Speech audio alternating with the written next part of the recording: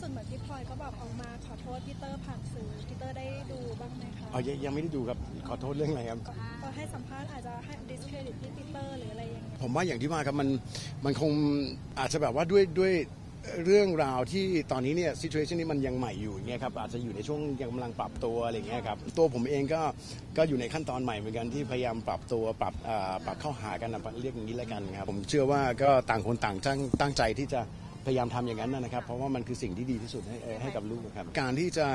สื่อสารกันผ่านข่าว ผมคิดว่ามันก็คงไม่มีอะไรที่ทำให้มันเอ่อสถานการณ์มันดีขึ้น และในที่สุดเนี่ยครับมันก็เป็นอะไรที่เข้าไปเอฟเฟกกับชีวิตลูกนะครับ เพราะฉะนั้นเอ่ออาจจะนั่นนะครับผมขอไม่ต่อยอดอะไรทั้งนั้นดีกว่าครับ